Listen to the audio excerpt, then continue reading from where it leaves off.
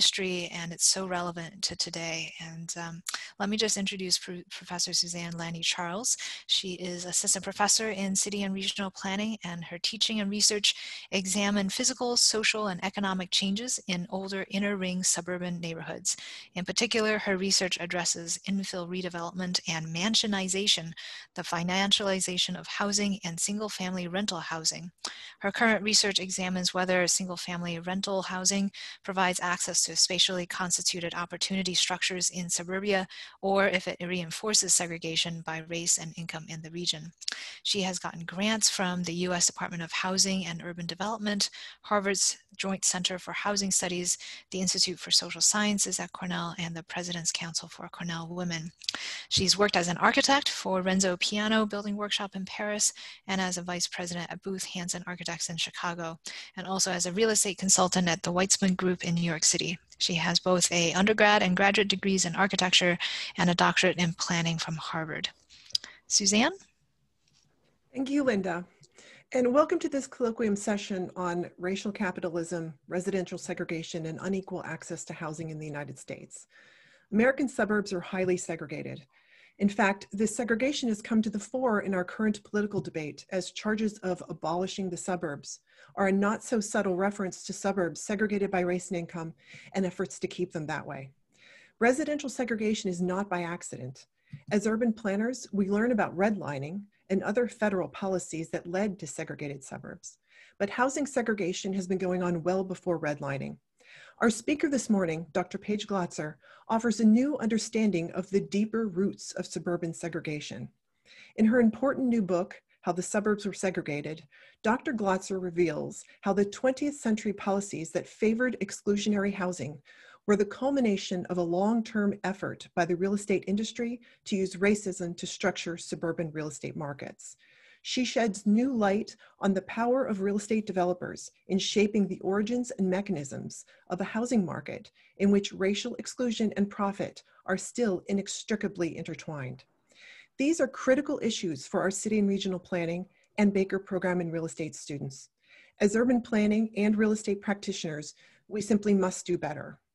This talk kicks off a series of discussions that we will have in CRP and the Baker Program in Real Estate, which will continue through the new housing policy course in our department next spring, when we will read Paige's book and perhaps talk with her again.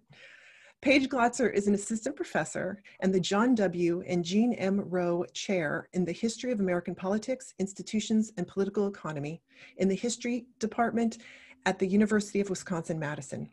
She researches the history of housing segregation in the 19th and 20th century, and she brings together discussions of political economy, cultural history, and the spatial construction of difference. Paige received her PhD in history from Johns Hopkins University, and we are so happy to have Paige, Paige Glotzer speak with us today. So without further delay, Dr. Paige Glotzer. Well, thank you very much for um, such a generous introduction, um, and thank you for the invitation to speak here today. I'm, I'm very excited to get to um, have a good conversation with all of you and to share some of my work.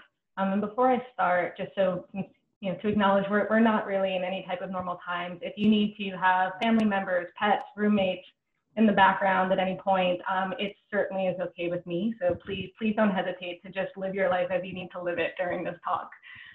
Okay, I'm going to share my screen um, as I get started.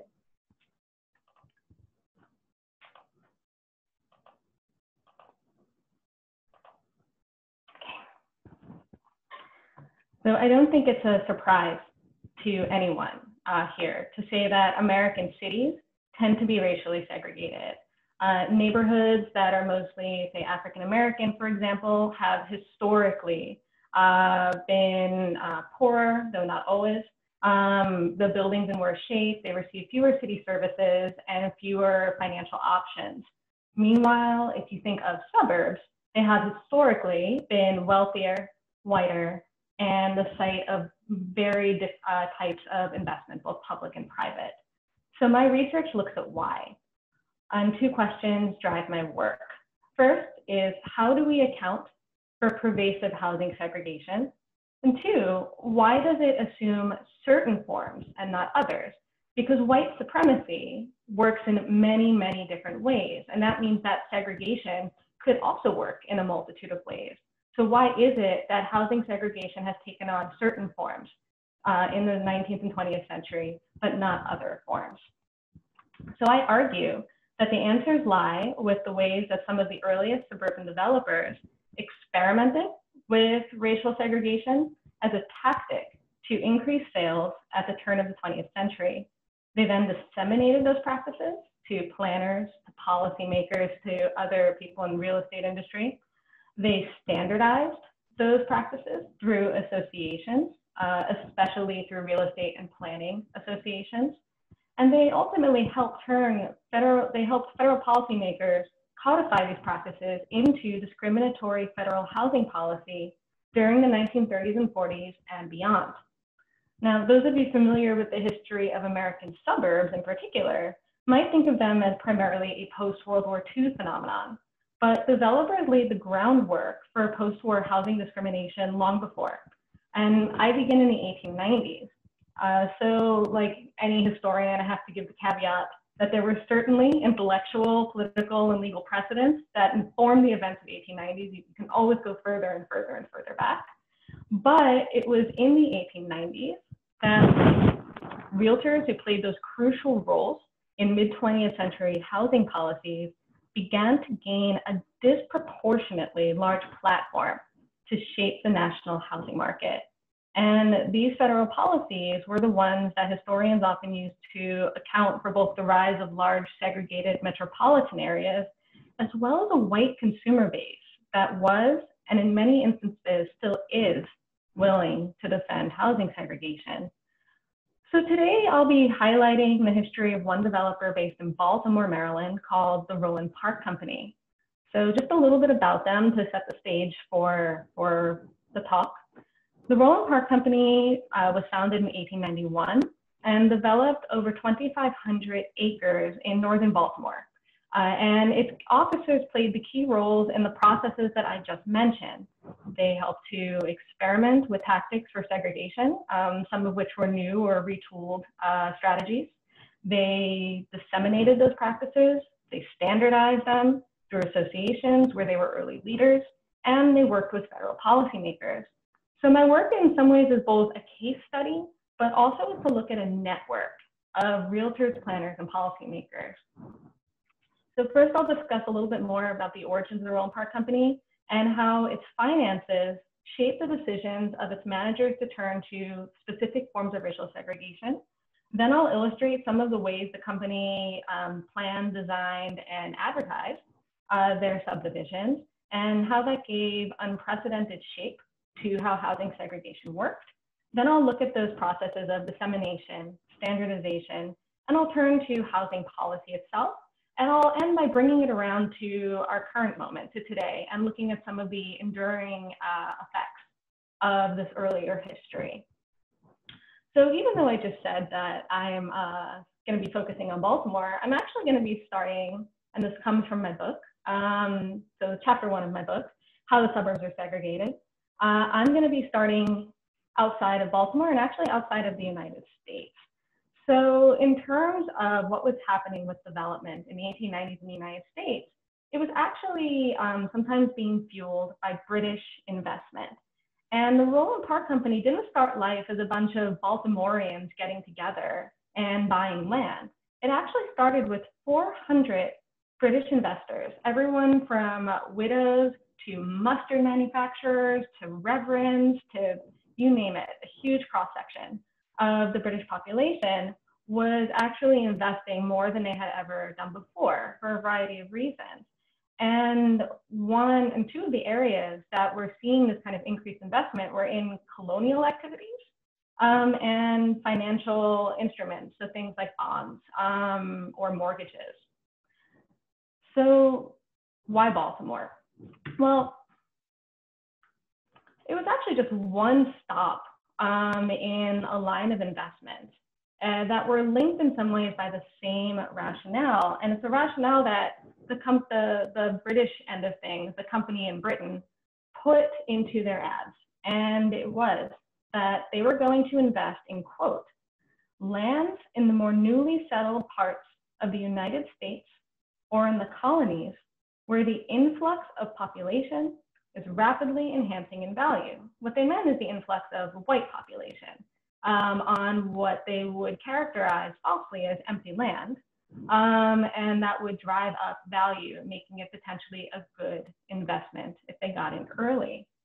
So this map that I'm, uh, I have here on the screen actually does a couple of things. It shows that the, some of the other places that these investors are investing in um, at the same time. But one thing I do in the project is I also want to create connections to show where the money that financed uh, Baltimore first segregated suburb came from. And so this actually is a map that shows some of the investments of the larger investors, um, specifically Alfred Fryer and Jacob Bright, whom I talk about in my book. Um, and they had actually gotten the money that they put into Baltimore from things that had connections to enslavement, such as sugar plantations in the Caribbean, um, from imperial, British imperialism, such as um, government activities in India, in Egypt, and the Congo. Uh, and also many of their investments in the immediate years leading up to financing um, the Roland Park Company in Baltimore also had to do with the displacement and genocide of Native Americans in the American West, again, for white settlement.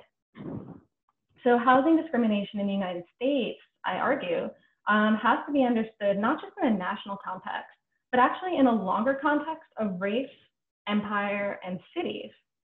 And Baltimore fit this bill. Um, Baltimore had, was rapidly growing, and if they saw, um, when they looked at Baltimore, uh, potentially a path of affluent white uh, movement to a specific part of Baltimore's periphery that was not empty in the slightest, but was portrayed as such. So why, what were the imperatives then that actually made planned suburbs look really different from what had previously been going on in terms of what it meant to build housing and develop in the United States. So I mentioned that planned segregated suburbs were they were actually a pretty new thing. There were some there were planned suburbs, there was certainly segregated housing. But what was happening in the 1890s in places like Baltimore were a bit new. And this has to do with this investment. So there were different financial imperatives. Um, Baltimore builders prior to, to this time really operated on very short-term uh, goals. So because of the way they got their money and because of the ways they, they had to essentially build very quickly to make money, they would essentially build a couple of lots and then try and sell it and get out. So this was different from the Roland Park Company in Baltimore that had to guarantee returns to these British investors year after year after year. And so the Roland Park Company was one of the first to turn to two tools to try and actually guarantee long-term returns. Uh, and those are planning and also restrictive covenants. So that's what they first, those were their first two tools. So I'll go into now restrictive covenants first, and then I'll talk a little bit more about the planning. And this gets into the whole what tactics are they experimenting with or retooling um, that have not had not been really used on a wide scale before. So restrictive covenants, um, I'm sure many of you are familiar with them, at least in passing, but at its broadest, a restrictive covenant is essentially a set of rules, um, a community-wide set of rules that were legally binding. Now, the restrictive covenants or uh, essentially restrictions on single pieces of property had existed before, but the application of them to an entire subdivision was very rare. Um, and so, for example, uh, as an attempt of community control, they were very rare. So examples of, restrict of restrictions in the Roland Park Company covenants seem to sometimes be just strictly aesthetic um, or having to do with the kind of way things looked physically. But if you read the sort of between the lines, you actually see what's going to be a recurring pattern in this talk and in the history of housing segregation, which is that the company essentially mixed up or conflated um, uses of uses of property and what they thought of as the qualities of people. So, for instance, um, some of the restrictions were that each house had to be set back a certain amount from the street. That actually functioned as a, a type of class control because it meant that people had to buy a bigger lot in order to actually be able to have a house on it. Um, each house had to be made of a certain material, and actually each house had to have a minimum cost. Also things controlling and setting barriers to entry. But there was more. Uh, the Roland Park Company inserted one of the, excuse me, the very first community-wide racial clauses into their restrictions. And it's a lot of text here, but um, I want to draw your attention to the paragraph in the middle um, and also just preface it that um, the word they used was the polite term for African Americans at this time. It was different from the uh, another word. Um, at no time shall the land included in said tract or any part thereof be, or any building erected thereon, be occupied by any Negro or person of Negro extraction. Um, and, and, it goes on to say that that doesn't apply to domestic servants, meaning that African Americans could not um, purchase or live in houses, but they could be hired by white people and perform jobs in houses, um, including as live-in servants. Now, where this was placed in the restrictive covenant itself, I think is extremely important. So it was in a nuisance clause. Nuisances were historically um, one of the tools of municipal land regulation. When they're really, prior to zoning, um, nuisances were often um, defined as anything, any use, toxic or unhealthy, that could potentially endanger other people in a city. Um, this has, this uh, is a something that has been very much used to construct ideas of race, of disability, of gender, but it also meant that by putting it, by taking that idea of nuisance uh, as a land regulation tool and including a race restriction within it, it equates African American occupancy with what comes above and below it, as you can see here. Um, prohibitions on owning livestock and excess smoke. So it goes livestock, race, smoke. And again, that is kind of already signaling how developers are regarding people and property together in a very kind of conflated way. So this is one of the key logics to how racial segregation in housing is beginning to take shape. So this is the sort of the foundation with restrictive covenants, and this was the legal basis for um, as a contract that was used uh, to guarantee somehow long-term returns, stability. Um, and there are all sorts of language um, and cleanliness, hygiene. These are languages that were permeating the ads of these developers. But I also um, want to talk a little bit about the planning that also is very much the flip side to this, it's mutually reinforcing. So to do that, I'm actually turning to a um, present day map um, of the Roland Park Company's second development, Guilford. Um, the reason why I use the present day map is actually these boundaries, these streets are very much the way they were about 100 years ago. So it was also just, it's convenient, but we're going to come back to this map in different ways. So I wanted to draw your attention to the east side of Guilford. This street here is called Greenmount Avenue. It's also called York Road. It changes names. And the Roland Park Company erected a variety of barriers along York Road intended to separate Guilford from the pre-existing mixed race, mixed class neighborhoods on the other side of it that were older. And so this is how we actually see segregation being written into the landscape. So first, you can look at the streets. So Guilford streets, which are on the left, dead end generally at York Road. They, um, they don't continue through and they're disconnected from older pre-existing streets. So this is an intentional separation from an existing street fabric. Uh, and Guilford streets were all planned and created at once, you know, at the time of its development. I should say the only street that does go through, 39th Street, has a sewer underneath it. So we could talk a lot about the provision of infrastructure and, and the role that plays in this story. Then there's a wall um, again, I took that picture of the wall myself. The wall still exists. It's a, I think about 14 foot high wall in most places. And this was actually done, um, we, there's correspondence about this in the archive. Uh, this was done to block out so-called eyesores. Um, and again, that referred to both people and the appearance of the built environment. So, and it would also separate Guilford um, and make it very inward oriented. So people could only see folks who looked like them um, and lived in houses like them.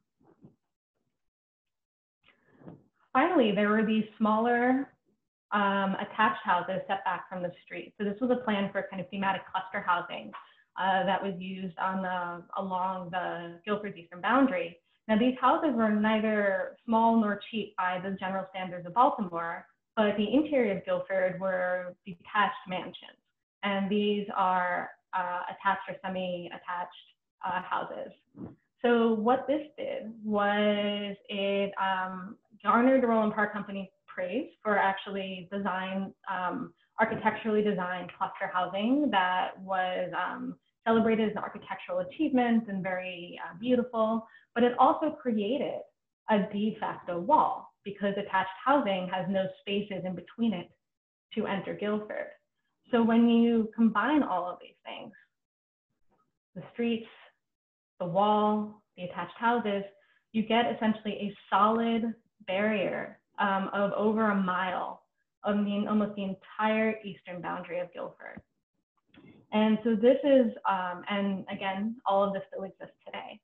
So these are just some of the ways in which block level, street by street level planning can actually create intentional barriers uh, to separate um, to separate neighborhoods based on race and class uh, under the guise of essentially creating um, and maintaining the integrity of a community.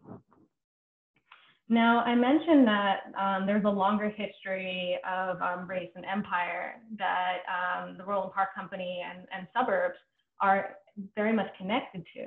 So the people who actually helped to plan Roland Park Company developments were um, the Olmsted brothers, so uh, one of uh, the United States' premier landscape architecture firms. Um, the, uh, so the Olmsted brothers were the sons of Frederick Law Olmsted Sr., who um, is known for designing Central Park in New York City, um, who played a role in um, the World's Fair in Chicago in 1893, which was a kind of show of American imperial power. So the Olmsted brothers did a lot of subdivision design, university campus design, but also they function as municipal planners. They work with city governments as well. So they wore different hats, often simultaneously um, in the same place. But the Olmsteds also, while they were helping to plan out places like Guilford, were um, also going around the world and especially to the Caribbean um, and helping to create gated walled communities for American and British expats during the same time period um, so this is just one example of a proposed um, community in Cuba not long after the Spanish-American War on a disputed island called the Isle of Pines, which was claimed by both Cuba and the United States. And it has a lot of the similar features of Roland Park Company developments, um, including a country club, the privatized recreational space.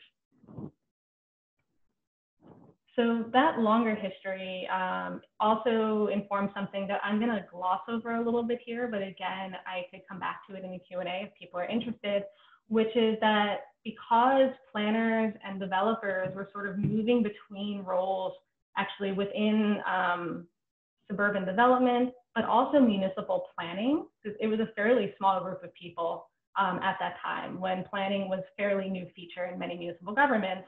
It also meant that there were kind of specialized ties that were forming between um, the, the most well-off developers with the most capital and municipal policymakers.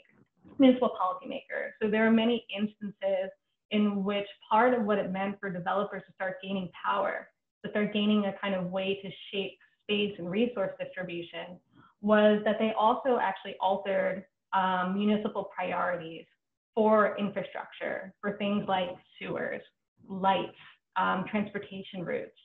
And that often came at the expense of people who potentially had been um, making a strong case for why they needed it more, such as in Baltimore, sewers were originally laid, um, planned to first serve people whose neighborhoods were most likely to suffer from epidemics um, of, say, yellow fever um, of various diseases that were only beginning to really be understood very well as germ theory was new.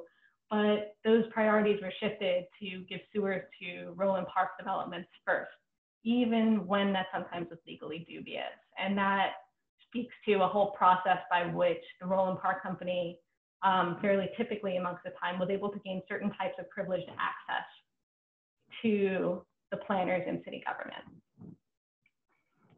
So to kind of switch a little bit back to some of those processes I mentioned earlier. So this is kind of the early experimenting and planning stages, but um, there was also a way in which uh, this started to create, the Roland Park Company helped to start create, creating um, an informal network uh, in which people could share ideas and also move from project to project to apply their ideas. And chief amongst those ideas that were being circulated were of the um, value of restrictive covenants.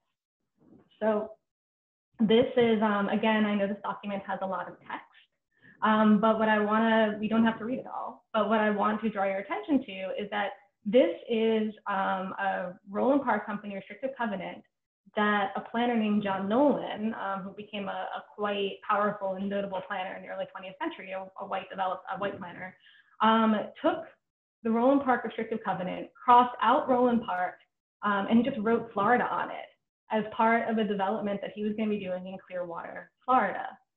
So there's actually a very concrete dissemination of restrictive covenants that you can follow through these correspondence networks and see how then um, things like racial restrictions actually spread through various channels. Um, and Nolen was another one of the planners who wore many hats and developed and worked for city governments, uh, did university campuses, worked in um, subdivision design. So again, there's that kind of very sort of easy slipping between different roles that helped to kind of shape the dissemination of ideas and gave people a platform that others did not have. But there are some other examples of this, which don't necessarily have corresponding kind of good slides. Um, so the architects of New York City zoning laws wrote to the Roland Park Company and said, we actually love your restricted covenants. We think they're a great example of land use. We would like to study them as we plan out New York City zoning laws. Um, one of the architects of New York City zoning laws taught the very first planning courses at Columbia University, George Burdett Ford. So the Roland Park Company's restrictive covenants were part of the curriculum to train the first generation of university trained planners. Um, and their restrictive covenants were not the only ones, Ford aggregated them. Um, so if you all um, at Cornell were actually taking your planning courses uh, back in 1913, 1914, you would probably be studying restrictive covenants for how good they were. Um, and then, then also the um, Olmsted brothers also were instrumental, um, again, not the only ones, in adapting tools like this to local circumstances. So Baltimore's racial um, hierarchies, like the, the geography of race in Baltimore, was very much one that was predominantly recognized by people at the time as African American and white. Now, those terms change over time, but it was very much a city that was considered to be black and white. Um, when the Olmsted brothers, they went to California, with a very, very different potential um, racial geography and kind of understanding of what racial hierarchy meant, they helped to actually adapt um, restrictive covenants to exclude Mexicans, um, which is not something that would happen in Baltimore. So there's also a local piece that's maintained here, as these are flexible and adaptable practices that were then rearranged to enforce and bolster different types of segregation in local contexts as well. So, and what you get then are, um, in addition to restricted covenants, this is just a picture of um, a sewer in Baltimore. Right before it opened, people would drive through it very ceremoniously to show the technological grandeur of a giant plant sewer system. So I, I thought that was pretty neat to include. But the sewer tells a story actually about resource distribution, about environmental racism, and et cetera in Baltimore. So the circulation of these processes, people, ideas, and planning instruments uh, were informal at first, but beginning in around 1908, 1909, there was a big effort amongst uh, people in the real estate in, in who worked in real estate to try and actually come together to form a national organization. And that was called the National Association of Real Estate Boards. Um, it still exists today. It's called the National Association of Realtors, and they're based in Chicago. So the National Association of Realtors um, was trying to at first counter a widely held um, view that people in real estate were not to be trusted or respected. Um, the popular view of real estate agents was that they were swindlers, uh, scam scam artists. They were called sharks, uh, fly-by-nighters, uh, and NAREB sought to change that image by establishing real estate as a profession. So they wanted to professionalize real estate. And over the 1910s and 1920s, that was actually one of its main goals. So that's when you saw the establishment of real estate licensing laws. That was a NAREB effort at the state and sometimes local level. Um, it is when you see the first real estate textbooks um, on things like appraisal and valuation. Uh, and it's also when uh, realtors sought linkages with academia, with economists, with, um, with planners who had done this a little bit earlier to try and again, not only bolster the reputation of real estate, but try to expand it into what could be its own sort of body of knowledge.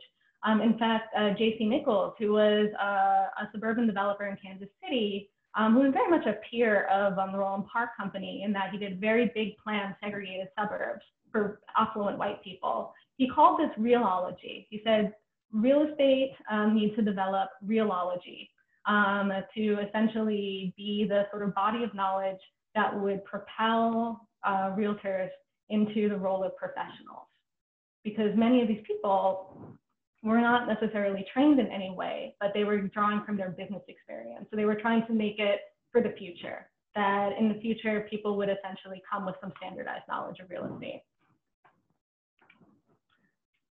So this also meant then that through this effort, um, realtors, and I, I say the word realtor, realtor as a trademark term was an invention of the National Association of Real Estate Boards as a, a gatekeeping measure. So only those people who passed the licensing exam and essentially met certain criteria and paid their dues to be a member of their real estate board could call themselves a realtor. So it was supposed to be a, a sort of mark of trustworthiness and of certain credentials. So that's why I'll, I'll use the term realtor to describe them. Um, but this was a segregated organization from the start. So you're already talking about essentially an association that's thinking nationally and is excluding a large body of people who um, may be also practicing real estate in various ways. So what did realtors think of themselves because of this push? So we can get an idea of what realtors thought of themselves and what they were doing from their own literature. This image is my favorite image that's in the book, but um, you get to see it in color here uh, which was expensive. They put in a big effort if they printed this in color in 1925. So first, for, for since I'm a historian, I, I sometimes take it for granted that images are data. So just before I even talk about it, um, this image, this is an archival document that I found in Chicago. It tells us a lot, even though there are no numbers here. So we can analyze this image as a source to understand things such as the hopes and dreams and aspirations of realtors, um, how they saw themselves in relation to other people, what they saw their duties as, and what they saw their accomplishments as. Um, so first of all, the realtor is supposed to be um, a white man who's um, essentially bringing progress, holding a car, right? So he's holding some of the latest technology, but he's dressed in classical garb. So he's also supposed to be somehow like very knowledgeable, potentially, you, you often hear realtors say civilized, again, which is a, something that's laden with understandings of race, of class. So the civilized realtor holding progress and surrounded by scenes that realtors were responsible for. So you can see the Detroit skyline with its belching smokestacks. You see happy industrial workers, all of whom are white industrial workers in 1920s Detroit. Mm. Um, but you also see a suburb. Um, you see a house that could be in Roland Park, and you see a white nuclear family, a mother, a father, and a child. So this is what realtors consider to be the best, the, their, their demonstration of their best. So already you can tell how some of the values that are underlying realology, the professionalization of real estate, are drawing on their older business practices and attempting to essentially standardize it into what is good and valuable and what it, what it means for a realtor to be a civic leader. So that is how they saw themselves. Upstanding. They saw themselves as upstanding. Now, along with this image, though, realtors also adapted a code of ethics, which was a common practice amongst um, standard uh, organizations or, or bodies of people who tried to professionalize. So, a code of ethics about how they should behave. Um, and this is where you actually see racial segregation being written directly and explicitly into this code. So the Code of Ethics, which was adopted in 1924, just a year before this image, included um, one line that said, quote, a realtor could not introduce into a neighborhood a character of property or occupancy, members of any race or nationality, or any individual whose presence will clearly be detrimental to the property values in that neighborhood. So realtors, regardless of any individual um, beliefs, were duty bound to enforce um, and practice uh, racial segregation, class segregation, and they had a lot of latitude to use that wisely. So again, that was then adaptable to local circumstances, understandings, and conditions of what this meant. This also tells us something about the link between people, place, and property value. So this is worded as a way of saying realtors protect property value. And it's already saying that the thing that will lower property values is mixing races, mixing nationalities, and also it says property and occupancy. So again, the whole conflating the use of a property with the people who may live there is very much a core of what determines property values according to realtors. So segregation was supposed to safeguard or enhance property value. Now, this again was the res uh, responsibility of realtors to do, and if they did not do it, they could be expelled from the National Association of Real Estate Boards, no longer be able to call themselves a realtor, and it would be potentially very hard for them to stay in business but based on, on a lot of the um, literature and debates and meeting minutes of the National Association, um, there isn't necessarily a lot of resistance to this clause that's recorded at all. And I think that's very important to note that even though this was something that people had to do, there not, wasn't necessarily a lot of um, recorded saying, we don't want to do it. This was voted on and won by a majority of votes to be a part of the Code of Ethics in my work, though, I think um, I, I, make the case that it's important not just to look at the sort of what's going on in official meetings or what's going on at um, in say publications where we see realtors sort of trying to depict what they want themselves to be seen as. It's also important to just see what they do when they gather together. Because as a very large body that's sort of gaining power and standardizing sort of ways of seeing people and property, it also meant that there were probably other ways in which we can understand how racism was at work uh, in kind of establishing what real estate, how real estate functioned. So what I also do in my book is I look at um, the annual conventions of the National Association of Realtors. Uh, and the conventions is are places exactly where you would see gatherings, large gatherings of realtors from across the country, actually from the US and Canada up through the 1950s before Canada split off to do its own thing. Um, and it's where realtors really kind of are able to form a professional identity even outside of the halls of meetings. So realtors connected convention business with what they did as part of the leisure program um, at these conventions as well. So after a day of discussing restrictive covenants um, or property value or sales taxes, they join together and go to programs like what this advertised, a treat of thrills. Um, and this is from the Kentucky Convention from 1928. And what you see here are essentially various images that are drawn from um, a form of entertainment in American culture called minstrel shows.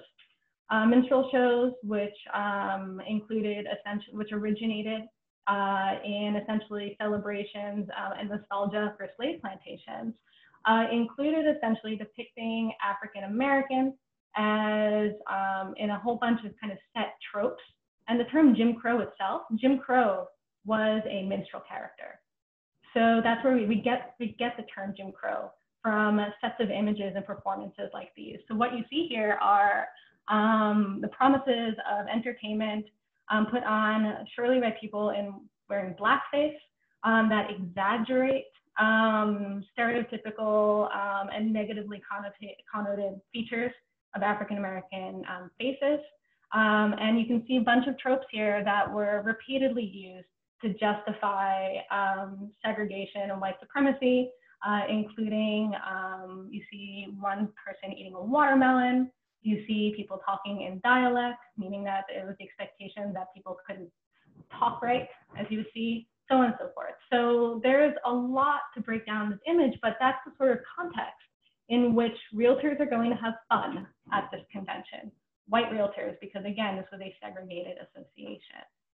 So this means that when thinking about why, uh, why real estate is segregated, why housing is segregated, keeping in mind the kind of the multitude of ways in which uh, folks involved in real estate were seeing and thinking about race and racism really helps to also explain sometimes why they why it was such a central feature to their business because at the end of the day it was a central feature to their worldview as well and um, racism is in real estate very often most frequently took the forms of anti-black racism. But race itself, racism is often it's hierarchical, meaning that um, blackness was at the bottom of a kind of complicated and very shifting way of how people ordered um, others in the United States. And so prior to World War II, also the term white uh, meant some different things than it might now. And so there were, there were additional tools of exclusion that guided the sales tactics of the Roland Park Company, but also across the country. So here I'm pulling up two things called exclusion files. Exclusion files were not public facing like restrictive covenants. These were inter-office documents, not available to the public. Restricted covenants were available to the public.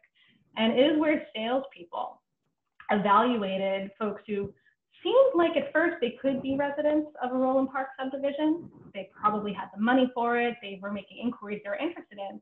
But something tipped off a salesperson that maybe maybe this person wasn't quite um, wasn't quite a good fit. And they would investigate, usually behind their the back, which was legal. Um, and they would arrive at the conclusion that, oh no, this person was Jewish, or this person is um, uh, Italian, but the wrong type of Italian. They like look too Italian. They don't assimilate or blend well. And so these would be disqualifications. And sometimes the residents, the, the prospective resident would never be told. They would just be, they would never call them back. And we have all these files to see how case by case this was worked out. Um, but a few things that are really important here. It gives you a kind of broader sense of how exclusion was working on the ground, day by day, salesperson by salesperson. Um, there's a lot of ambiguity in this files. But African Americans, again, were excluded blanket by restrictive covenant as a group, whereas people who were potentially of dubious whiteness were always given a case by case evaluation and treated as individuals to potentially be kind of weighed with maybe exceptions in mind. So what you see is even though this is a racial hierarchy, it's always being done with a very, very prominent anti-blackness kind of hanging over what's guiding these other types of exclusions as well. They function differently, and that's part of how they all work together to paint the kind of larger picture of how housing segregation worked and changed over time. I should mention too, um, in terms of racial context, um, there was, since Baltimore was mainly black and white, they really knew how to, and, and there were large Jewish populations, Italian populations, Greek populations, all of them in here, the Roland Park Company knew how to potentially handle all of that. But when something didn't fit into that racial hierarchy, um, local hierarchy, such as the prospective Chinese buyers that showed up um, to buy a house, things got really confusing for the salesman. Um, and they actually polled residents. And it was so what they did was essentially they, they evolved the decision to what they could then say was, well, just the popular will of the neighborhood, when they themselves didn't necessarily know how to factor in, say, Chinese buyers. If you went to, again, a place like Los Angeles or San Francisco, you would not, you would have things play out very differently because again, understandings of that hierarchy were different in, local, in different places. However, even though exclusion files were inherently about kind of the local contingencies of segregation, this was a national advertisement for a filing cabinet for exclusion files called Prospect Files um, in one of the National Association of Real Estate Boards uh, publications. So in terms of standardizing practice, this is a way you see a kind of both attention and a way that ideas filtered up and down um, to essentially solidify the day-by-day mechanisms of housing segregation.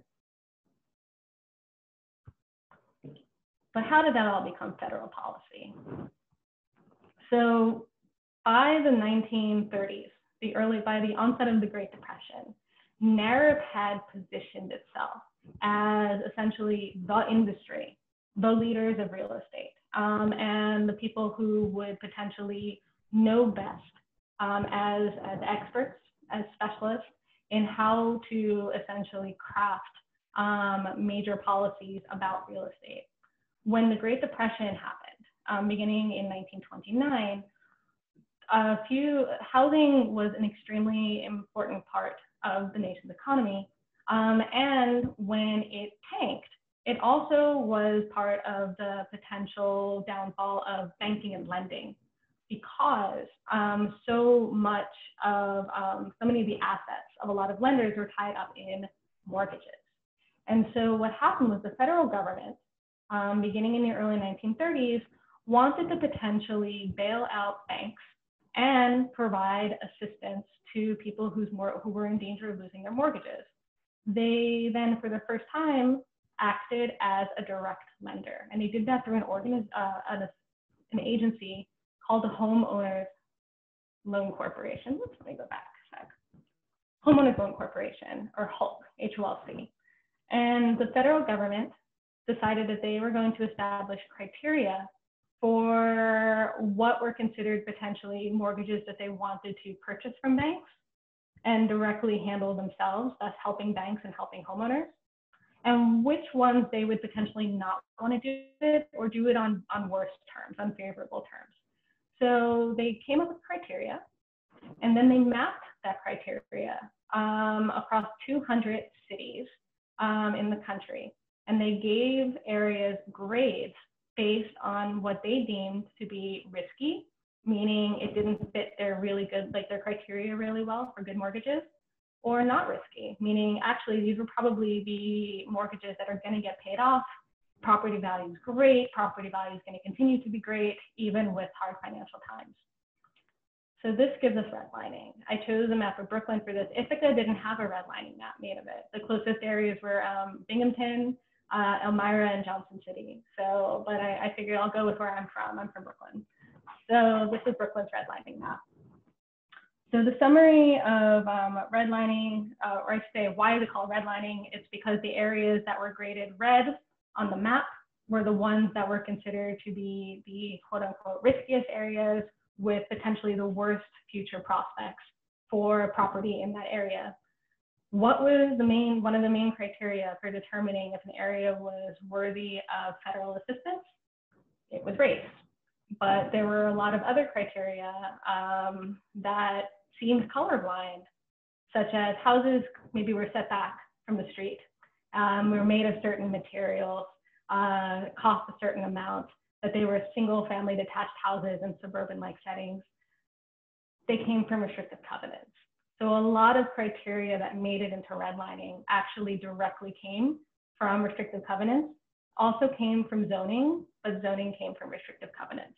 So it's all kind of a mixed up, sort of unfortunate mess of criteria that is unduly influenced by early segregated suburbs on the justification of what property value is worth more or less.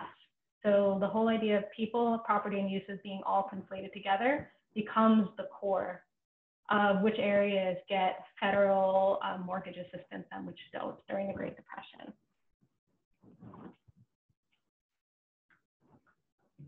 So in Baltimore, um, uh, all the Roland Park Company areas are rated very well. The strip along York Road, which I'm, I'm kind of showing you now is yellow, and there's a redlined area underneath. The two green areas you see on the Baltimore, this little portion of the Baltimore redlining map, um, were both Roland Park Company developments, um, Guilford and then Northwood to the right. So this was in the 1930s. I should also mention before I go any further, a couple of things. Other agencies, um, federal agencies adopted HOLC redlining criteria. So it meant that these criteria, which were essentially set up during the Great Depression, lasted um, because they then uh, formed the criteria for two other agencies, the Federal Housing Administration, which extended this to all private lenders and lasted way beyond the Great Depression, um, and also the Veterans Administration, who gave out mortgages to veterans returning from World War II use this criteria, meaning that oftentimes um, Black veterans did not receive the same types of access to suburban housing that white veterans did. So, and also NAREB literature formed the core of HOLC literature. HOLC members attended NAREB conventions on paid time. Um, in Baltimore, eight of 10 um, of the people who worked on um, Baltimore's map had ties to the Roland Park Company. So what is happening here? Um, so I mentioned the Roland Park Company was green, um, most of Baltimore was actually rated red, um, especially all of the areas that contained any, any area with over 10% um, of a population of African American residents was automatically redlined. So in its first year though, um, of the Federal Housing Administration using this criteria, 68.8% of all Roland Park Company business was actually done through FHA insured mortgages. So to bring things forward, isn't all of this illegal now? So why does any of this matter? It's all illegal now. Um, well, hmm, yes and no. So in 1948, restrictive covenants, racially restrictive covenants were ruled unenforceable, not illegal. So they continued through the post-war moment, um, up through the Fair Housing Act. Um, and you can read Keeanga-Yamahtta Taylor's wonderful book um, about how the Fair Housing Act also did not solve that at all. In fact, created new means for segregation after fair housing. Um, the FHA removed explicit racial language um, from its criteria, but it actually continued to discriminate. Um, NAREB also revised its code of ethics in 1950 to um, remove race from that, that line that I gave you earlier. But what it said instead was, a realtor should not be instrumental in introducing into a neighborhood a character or property of use which will be detrimental to property values in the neighborhood. Occupancy was a type of use. This was changed specifically to preserve the status quo while being legally defensible. Redlined areas also then became the most um, likely to be demolished during urban renewal and redevelopment projects throughout the mid 20th century. They were cheapest for cities to condemn because their property values were also lowest and they were some of the areas with the least amounts of political power. So where does that bring us today? A lot of the boundaries that we can see on redlining maps, and we saw earlier, predating redlining maps are still in place. And so this is, this is Guilford on the right. This is a block away from Guilford on the left with a house about to be foreclosed. So again, there are other ways we can map the enduring effects of redlining, but also look at why redlining took the shape that it did. So going back to those borders that I mentioned earlier, and how the redlining map kind of takes some of those borders, we can find York Road without it being on maps just from looking at a variety of map uh, data. So this is the racial distribution of Baltimore in, in 2011 you can find York Road at the hard barrier where Baltimore's northern section goes from vast majority white to majority black. Mortgage foreclosures during the 2008 housing crisis. You can find York Road from where there are fewer mortgage foreclosures to where there is a huge glut of it. And during that crisis, there was something happening called reverse redlining, which um, I won't get into now, but the result of it was that during the subprime housing crisis, uh, generally um, African American homeowners were most likely to lose their homes to foreclosure, and it wiped out generational wealth for um, many, many, many people. But I also want to end with this tree map, because trees are not only municipal resources like sewers that are often maintained by city government, but they also have huge environmental and quality of life implications that create some of the most um, striking disparities that you can see um, in neighborhoods that are majority white um, and planned suburbs like Guilford on the left, where you can see its tree cover and you can see its outline. Um, and then you can see York Road again, where the trees fall off. Um, recent studies have shown that uh, redline areas will disproportionately bear the brunt of climate change in the United States, in part because they are hotter and this tree cover is a way of also getting at that. So just to conclude, throughout this talk, I've mentioned different types of investments, developments, policies, um, and I've shown how uh, essentially early instances of uh, capital connected to enslavement, empire, imperialism helped to fuel the rise of Jim Crow um, in regards to segregated housing and the way that that took on a modern form in the form of segregated suburbs and cities that were often um, subject to uneven disinvestment based often on race. So developers gained preferential access to municipal resources um, and race was codified into the very logic of property value, which then provided all sorts of later colorblind justifications for maintaining segregation. The legacies of these, uh, the legacies of, of these early, um, of this early history lives on.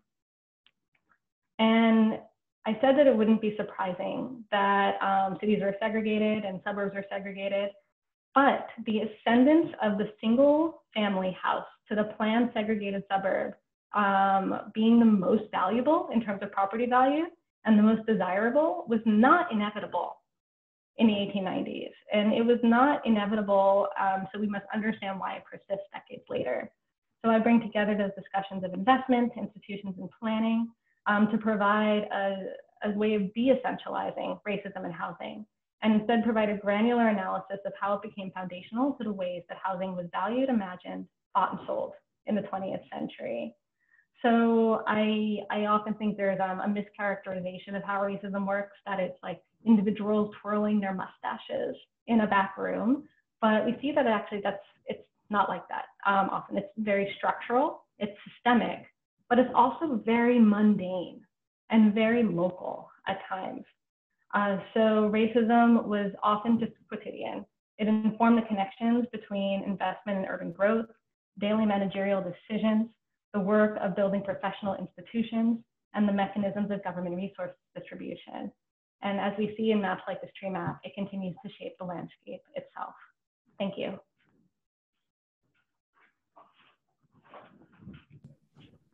Thank you so much, Paige.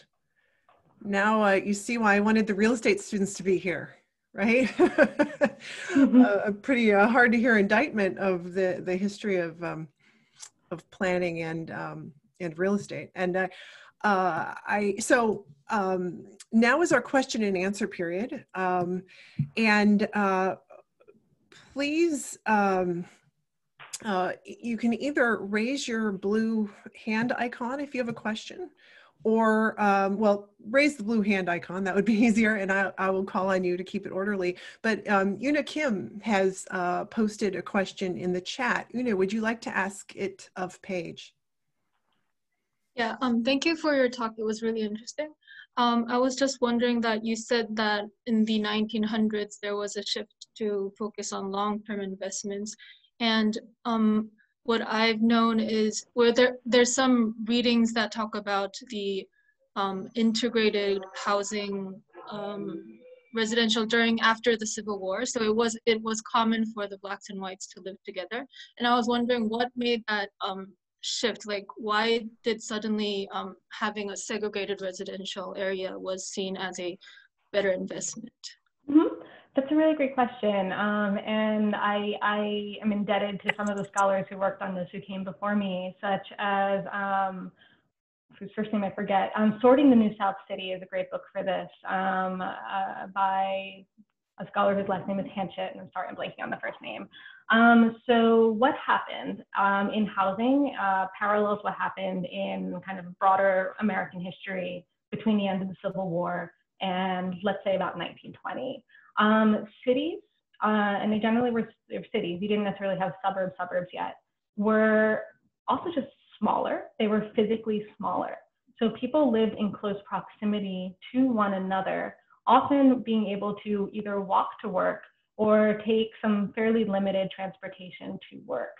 Um, this meant that if you, in general, it gives the impression that cities were um, pretty integrated. However, at a kind of closer block by block sort of analysis, um, while that actually is much more true than what happened um, later, there actually is still um, different patterns of segregation just at a much smaller scale. And you see this in differences between um, the locations in, in Baltimore um, of houses on alleys versus houses on main streets, um, for instance. So you, you do see some segregation. But what changed to give us the Forbes that I'm talking about? Um, well, uh, part of it had to do with essentially the end of uh, Reconstruction and the rise of Jim Crow in which there were um, some extremely um, violent um, attempts uh, to dispossess African Americans of property and political power um, throughout the country, not just in the South, though uh, many of the documented instances are in the South. And so this coincided with um, a couple of things industrial, some increased industrialization, changes in transportation technology, and city annexations. So cities were able to get larger and larger. They were in some ways more and more industrial in some locations, or at the very least, they were more, um, they had more varied sort of uses than they did previously. And right around that time, you see essentially a whole discourse arising around the need to separate Black and white bodies on the basis of things such as racial mixing would lead to the demise of the white race or racial mixing would lead to African Americans regaining the political power they momentarily had after the Civil War. Um, within African American communities, you also saw a lot of class tensions because class was is very flat um, in late 19th century African American communities because the wealthiest African Americans still had immense obstacles to, um, say, gathering and retaining wealth. So you also had an effort to, as cities spread out in general, you had an effort to essentially try to shift color, the color line as they existed to potentially have, um, on behalf of wealthy African Americans, to move into areas that had also recently been potentially vacated by um, affluent white people um, in an attempt to not live near recently arrived migrants to cities. So as everything is growing, it also means that along the um, borders of those neighborhoods, you see tremendous amounts of, of violence directed at African Americans on the basis of things like hygiene, protection of property, um, and, and various related things. So suburban developers, when they were coming in, it wasn't necessarily typical that a developer is going to be able to plan a whole track. So I am afraid the Roland Park Company was never typical of what was possible in Baltimore, but they did uh, pick up on and kind of enhance and heighten and retool many of those sort of um, racial, essentially the way that race worked in Baltimore and other cities at the in at the beginning of Jim Crow, at the complete and total essential disenfranchisement of African Americans in many states. And so what you had there then was a ready-made set of appeals about that it could essentially be done to create a homogenous community and then say that was safe and that was stable and that was good and that was healthy. Um, what you have though, those, those um, conversations don't go away. And actually Baltimore remains a place where the color line shifts constantly, in part because of organized Black activism um, and as one of the birthplaces of the NAACP but it also shapes things like zoning, which also helps to create segregated larger cities in different ways. Baltimore was the home of a huge fight over whether cities could legally use racial zoning to say this block is black, this block is white, and if you move here or there, you can go to jail. That's um, was another major factor in the direction and trends and growth of cities in the early 20th century and contributed to the specific forms of segregation. Chastity, would you like to ask your question? Hey, can you hear me? Oh, sweet. Um, so I, uh, Suzanne, I guess this is for both of you. Um, so, you know, looking back, I think there are all, still a lot of subtle ways that we um, continue to kind of impede on a lot of generational mobility. Um, so whether it was through like, you know, reverse redlining or through subprime mortgage lending, I think even now in Atlanta, we're seeing a lot of uneven economic recovery because of REO to rental strategy. Um, and they still look eerily similar to some of those HOLC maps. Um, what can we do in the private sector to prevent some of these vicious cycles? Yes, um, I I, I always both dread and like being asked the question of what can we do because I like, oh, I know the past. Um, but there are, I think, a few, there, there should be a few type of anti-racist practices and tools um, that can maybe be part of um, any considerations people get to make, especially as you potentially gain positions of power, be it in the public sector or the private sector. And honestly, and this sounds almost inane, but it's super important listen to people. Um, center the voices of, um, of activists, of, of people who have historically been marginalized, because they've been fighting this fight for generations. And you're probably not going to think of anything they haven't thought of before, but they haven't necessarily gotten the weight into power that perhaps a planner has or a developer has for some of the reasons I talked about. So start by listening and taking seriously the idea that maybe the most equitable thing to do will potentially clash with some of the assumptions you have about how planning or development should ideally work. But those ideals come from this racist history, and they are meant to essentially further the profits for a few um, at the expense of the many. So listen and take that seriously. And the second is um, think about the, those assumptions behind things like property values. So when making decisions with, I'm sure, reams of numerical data, the assumptions of the models themselves may be rather flawed, um, right? So why is something being considered valuable? Is that tied to an assumption about, say, affordable housing will do X and Y to a piece of property, that a certain type of zoning variance will do X and Y to value? Why is value determined the way it is? And so that may be also a way to reorient some decision making to um, potentially more equitable processes. Thank you so much. I just want to jump on that, that in my courses, both my courses recently, we've been talking about highest and best use and what that means. Um, and I also want to, we're, we'll also, you know, highest misuse for whom generally that term is used to mean financial profitability but um, you know, in, in some courses, uh, uh, you know, I'm teaching, and next spring, uh, Ernst Fowler will, will teach a course where we take a much different approach to understanding what the highest and best use or is. um, Sunil, would you like to ask your question? Hi. Yeah, uh, my question was regarding uh, uh, what makes a sub suburban area beautiful is the uh, beautifully planned master plan communities and the housing in that areas. So uh, do you say that uh, the entire idea of master plan community with walls and beautiful things, that idea itself is a bad idea or only that segregation part that takes that black Americans or other people away, only that is the wrong part in that? Um, you're, you're kind of cutting in and out there a little bit for me. I'm so sorry. Um, the, would you be able to just um, repeat that or um, a yeah, little yeah. more loudly? Yeah, can you hear me now? Yes, it's a little better. Sorry. Yeah. And I'm leaning in as if this does anything, but yes. so uh, what makes a suburban area beautiful is that uh, the uh, beautiful row houses and master plan communities in that. So uh, are you saying that that uh, entire master plan community is a bad idea or only that uh, the way they segregate black Americans from the other people, only that is the wrong part in that?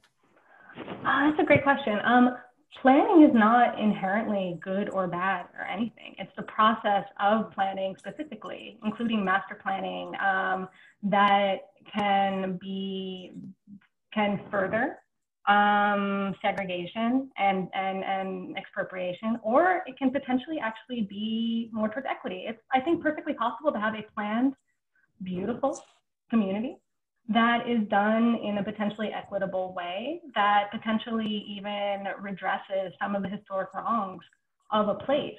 But it's probably going to be a little hard because it might mean doing something, mean deviating from any type of master planning strategies that um, you know well or easiest. So I would say that I think there are certainly absolutely possibilities in planning. Um, and there have been, um, I think there have been examples of, which of course I'm going to blank on in this talk, where you can potentially um, even sort of work into the planning process um, uh, potential ways to potential means of redress, um, also historical acknowledgement, right? Um, you, in thinking about what master planning can be, can also consider how a master plan community is, re- is in relation to its surrounding communities, right? So those relationships are another moment, right? Just like those boundaries at Greenmount Avenue, York Road is another moment to think about how can planning a place actually have an impact, an impact you potentially can control to some extent on a wider area um, and on a wider group of people that might be directly involved in the process as you're doing it. Thank you. Tatanka, would you like to ask your question? Hello, everyone. Thank you so much. I'm, I'm really happy to be here and be part of this conversation. Um, I'm currently the head of uh, culture and development for uh, in a city in Texas who was designated to be an African American, um, you know, community um, city.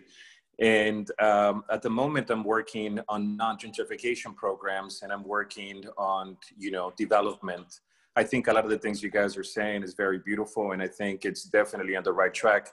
Something for me, um, it is about kind of creating a sensitivity, is kind of almost, you know, having this uh, sensitivity to to what those subjects are. Now, some people talked about them, and some other people don't talk about them. I'm involved with a real development group where I'm creating a cultural art district in an African American community who's already been gentrified. Now, at the end of the day, I think I use the word intentions a lot. And I think the word intentions, there's things that don't really take any monetary uh, support or, or, backing to create these intentions. Um, some of the some of the things that we're actually doing is creating a cultural uh, center where each and one of the businesses that are being developed on the east side on the area we're actually bringing all of those job fairs into that community space now, that gives the access to the actual community that we're working at and the people that are surrounding us to empower them to have the opportunities to have any other jobs or any other growth potential in the neighborhood. Um, and part of those other things is also changing the narrative of how these applications are set by eliminating, for example, what your gender is, what your ethnicity is, what your color of skin is, um, and make it into more of a general you know idea. For us is you know kind of pushing forward more of you know that we are all one. At the end of the day we want to be combined. We want this to be something where um, you know we're integrating all races we're integrating all qualities and you know and doing them as such. So what i would like to ask is you know what are some of those other ideas that you would think immediately can create an impact um, based on intentions Mm-hmm. Um, so in terms of intention, my first thought also goes to how um, how are resources and how is money going to be distributed to not only sustain and prioritize um, initiatives such as the ones that um, you're hard at work on, but how is that going to essentially be safeguarded in the future? For instance, how is a cultural center going to continue to get funding, right? Potentially as um, maybe some of the stakeholders and players change, right? So how can um, and I think of this in terms of like, for instance, with redlining, right, which is about intentions to segregate rather than intentions to integrate. Um, that was about controlling purse strings. So in terms of essentially um, creating priorities, but also then creating um, mechanisms and safeguards to have those priorities be sort of um, reinforced with funding priorities, I think is super critical. Um, and I think gentrification is exactly one of those areas where so much work can potentially be done um, with with funding, with money, because a lot of gentrification is also fueled by types of institutional investment and the promise of urban growth. So that's going to require rewriting the narrative of things like growth.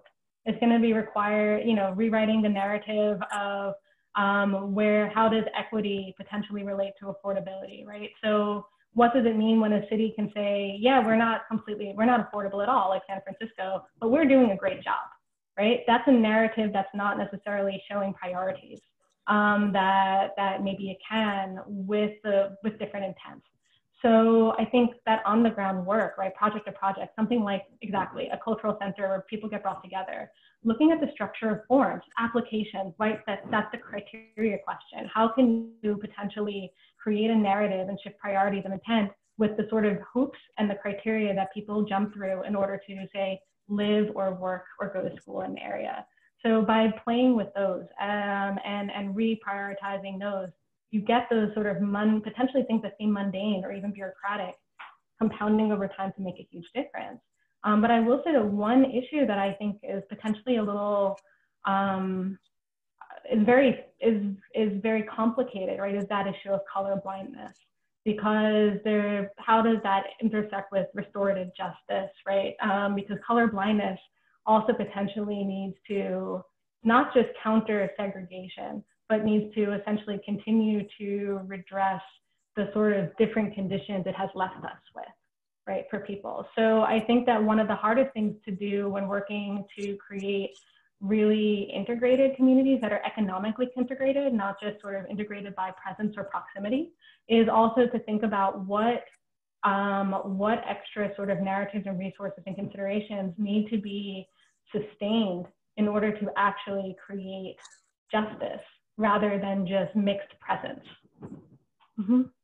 Thank you. I, I, I, really appreciate that. Um, what we're doing, some of those things is actually, you know, we are we're creating things for the children and you know the other African American communities that are here, um, from how to manage their money, how to open up a bank account, and mm-hmm. kind of start teaching the language. I feel that you know for for for me is something where i have to have the right intentions behind it how can we you know let's just say i have real estate power uh, towards a whole neighborhood where we are actually you know creating incubators for some of these you know african american communities and families or whatnot um, mm-hmm. so for me the intentions of waking up every single day and doing the right thing is something that would at the end of the day would invest a little seed and someone's you know way of going about their day or going about things. And i think that you know little by little will spread to everyone. So thank you so much. You guys are saying amazing and beautiful things. And i think in order for something good to happen sometimes something bad has to happen. But hopefully we can create change. Thank you. Thank you. Thank you. Um, jason Rierick, would you like to ask your question?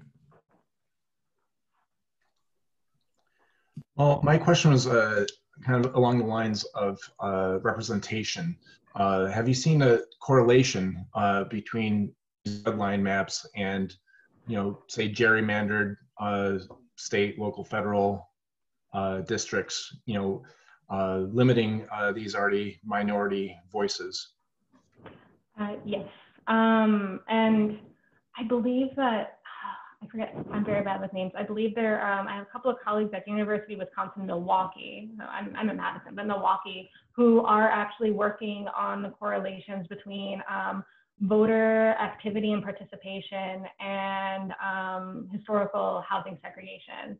So I, I could get those names, um, but I think it's some of their, their findings are exactly that. There's a very strong correlation between um, redlining and between um, at disenfranchisement through things like gerrymandering, um, as well as um, kind of very, very much sort of, again, like very much 19th century style attempts to like racially disenfranchise people um, on the assumption that they may vote a certain way. So in Wisconsin, for instance, areas that were redlined also were most likely to have voting machines taken out of their districts, um, making it harder to vote. So there are all sorts of on the ground things there. Um, also, there are some indirect ways that redlining influences essentially political power. So because of a multitude of variables that create that redlining has sort of helped to foster in terms of um, things such as over policing of dispossession, of how crime and law and order is talked about, you also have higher rates of incarceration amongst people in redlined areas. Depending on the state, people who have who are incarcerated lose their voting rights. So you also potentially have, um, and so I'm in Florida. There, there's been a very protracted um, legal battle in Florida about um, people with um, who are incarcerated. Will they be able to vote in November? Um, that is being done while people look at maps of where where these folks live, 100%. So I think there are a lot of ways then when you also then get into how housing and housing segregation is at the center of a web related to jobs, schools, um, political representation, taxation, right? Um, redlined areas tend to actually be over appraised in terms of how much people pay into property taxes, but undervalued when people try to sell their homes, right? Like you get all of these sort of what you might consider proxy variables that correlate politics with redlining, but actually just scratching the surface, you see the, the roles that essentially housing segregation plays in all of these factors. Alvina, would you like to ask your question? Uh, hi there. I really enjoyed your talk, um, and I, you know, saw some of this reflected in my own life, which ties into my question.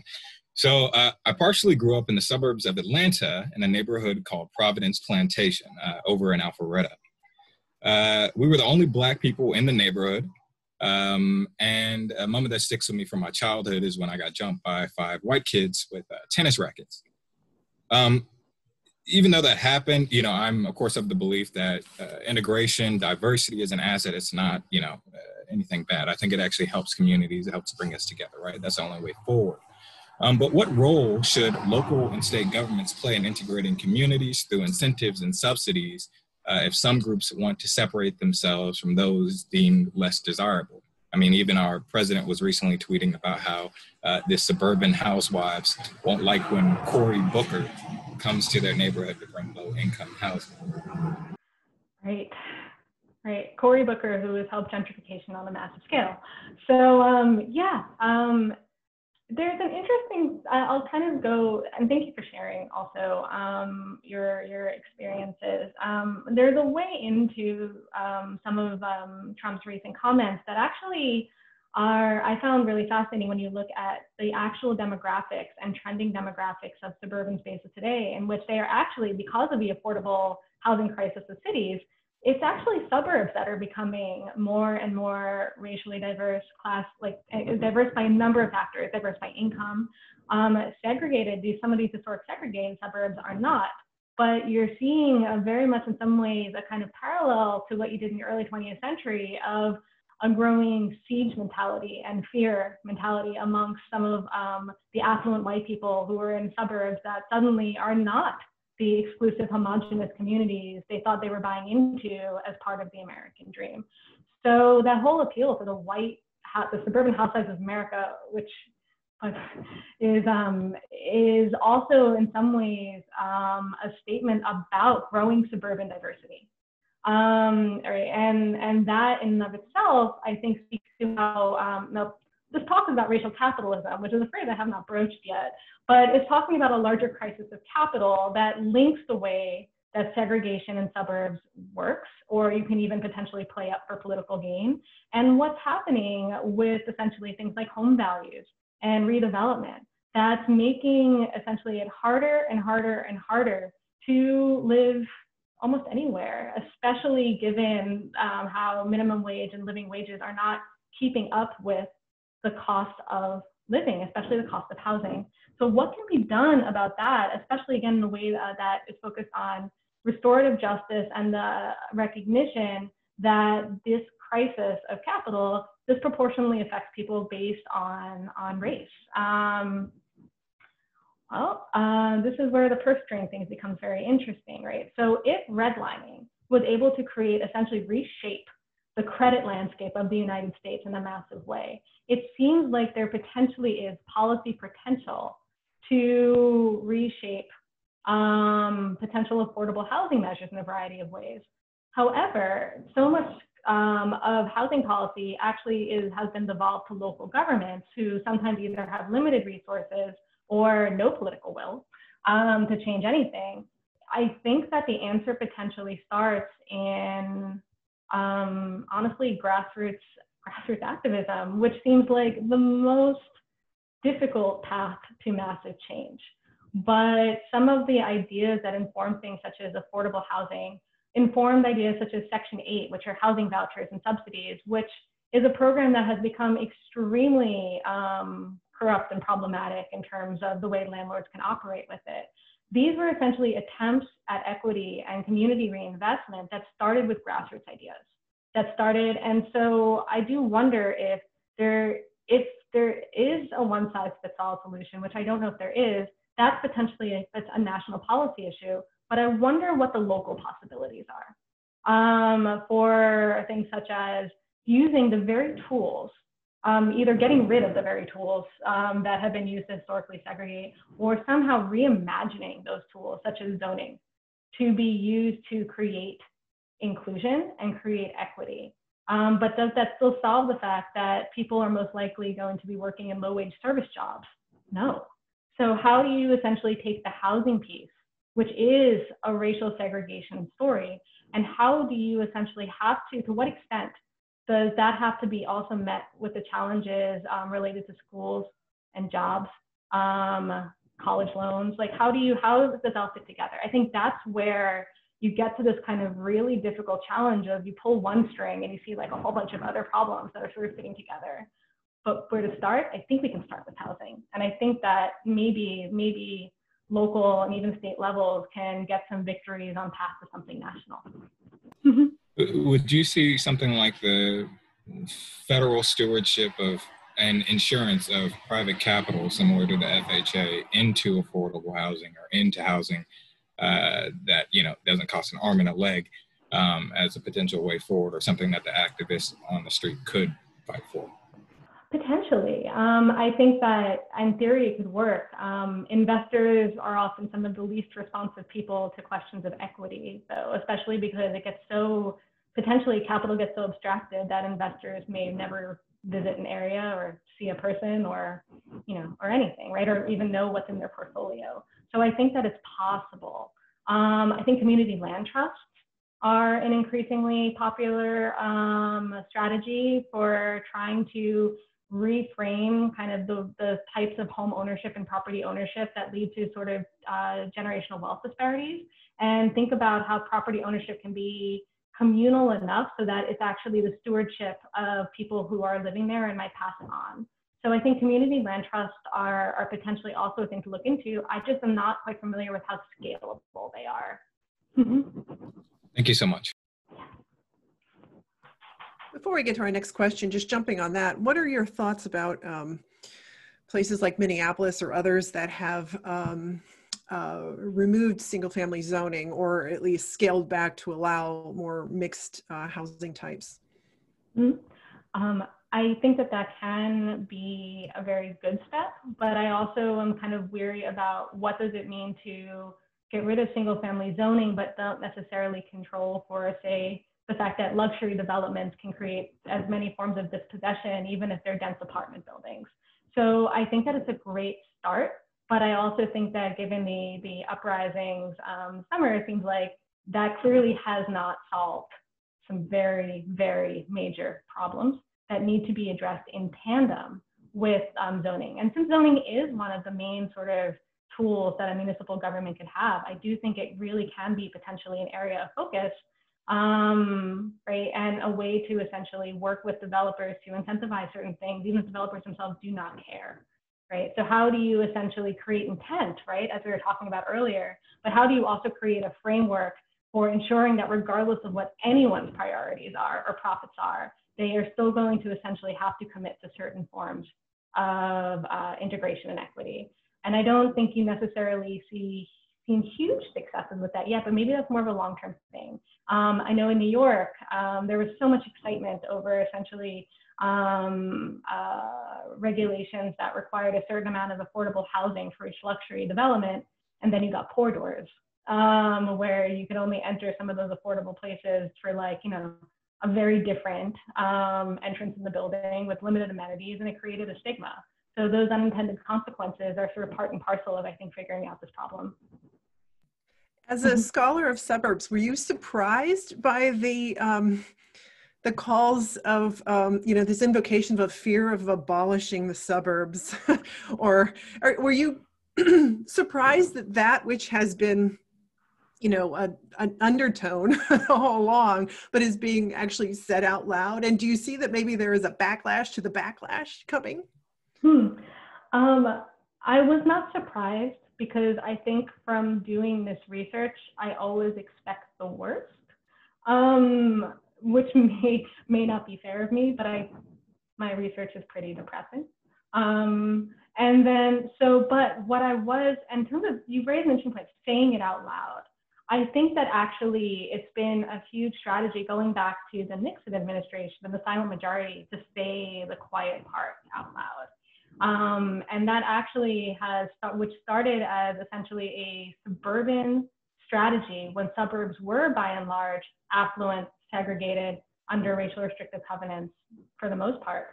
That strategy grew to essentially encompass law and order as a political rallying call which is essentially has always had not only an anti-urban but a very anti-black um, thread that gave us mass incarceration that helped to fund the militarization of policing, often targeted at cities. So really, the so the whole suburban strategy uh, is a very old part of the playbook. What's fascinating to me actually is how Democrats have tried to position themselves as not necessarily agreeing with it when it has been a bipartisan um, political playbook for decades now, um, including including through the Clinton administration and to some extent the Obama administration. So seeing the sort of attempt at divergence while also everyone's still trying to appeal to this like mythical suburban white suburban housewife is really fascinating to me. Uh, Daniel, would you like to ask your question?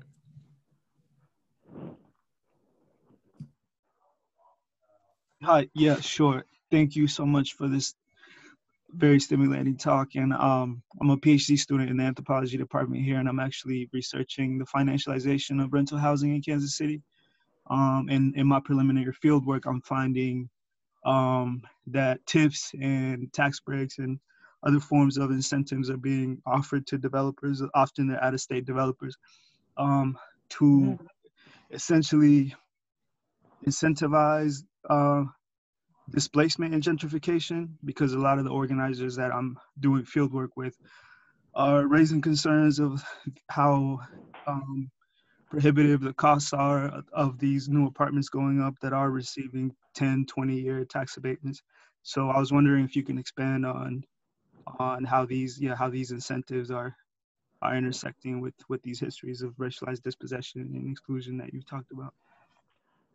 Um, thank you. I mean, I, I'm seeing, I think, um, a lot of what you're seeing, but I was seeing kind of the very early, early versions of this um, back in the, in the 1960s um, when in essentially redlined areas are areas that are, are much more likely to be um, gentrified areas precisely because um, right, gentrified areas were areas that were initially appealing to the first wave of gentrifiers because they were cheaper than other places. Why were they cheaper? Because of a long history of disinvestment and um, a disinvestment uh, that also stems from racism. Um, and so, uh, what the, that's part of why gentrification disproportionately affects people of color. Um, but also, it means that the it means that potentially redevelopment and say infrastructure provision of zoning like a lot of that becomes very it becomes very appealing for investors but it becomes very expensive because so much has to essentially be done to a, an area that's had 50 years of disinvestment to get it ready for a high-rise con- like a luxury condo so tax abatements i think uh, especially are this sort of really interesting area that now that we that if we have some kind of long-term studies of it show that I think on the whole, they do exactly what you describe and that it seems like it's going to benefit the city as a whole, or at least that's how it's argued, right? A tax abatement, but it generally actually fuels neighborhood level and sometimes city level inequality. So what can be done about that? Um, is well, I think that again, this is where I turn to you guys as uh, the, the, planners and, and realtors of, of the future, um, as opposed to the historian looking backwards. But it does seem like um, the kind of classic historian question of, you know, who is being prioritized, right? Like tax abatements for whom, right? Is um, uh, it seems to be a big issue, right? So tax abatements are supposed to somehow benefit the city, but tax abatements actually hurt um, people who are already marginalized in cities. Can tax abatements be changed to create different incentives? That I'm not sure. Like, does the tax abate, do the funding, can funding instead of tax abatement, can funding be redirected into very specific things? I don't know. I imagine there's a lot of work done on that that I'm unfamiliar with. But I think that, again, getting into the issue of to what extent can investors be the answer to our problems? Uh, I've yet to really see a lot of strong work um, that kind of counters that that sort of story of gentrification and increased displacement that you you seem to be um, seeing really right there on the ground. But I would love counterexamples if people had that because I would love to not be the person that was doing the depressing research. well, thank you so much, Paige. This was really, really eye-opening and um, and a little depressing, right? but hopefully gives us as planners and real estate practitioners the the background to move forward and like I said at the outset to do better. Thank you. Um, and actually, believe it or not, I end my book on an optimistic note mm-hmm. um, after I tell that whole story, which is remember that none of this was inevitable, which means it's not inevitable in the future. Like things can be changed. And it's actually, it's you folks who probably are going to be some of the leaders in making these changes if you want to do that. Absolutely. Absolutely. And let's all uh, let's all turn on our mics and uh, give Paige a round of applause. Thank you. Thank you. That was awesome.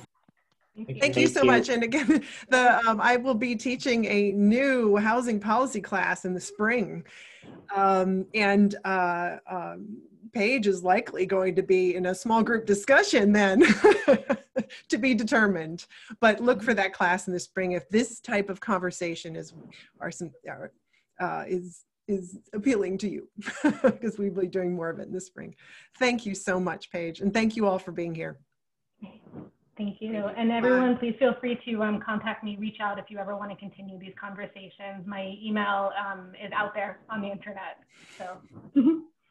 Thank you. Right, thank Bye, you. everyone. Thank you. Thank you. so much. Thank you. Thank you.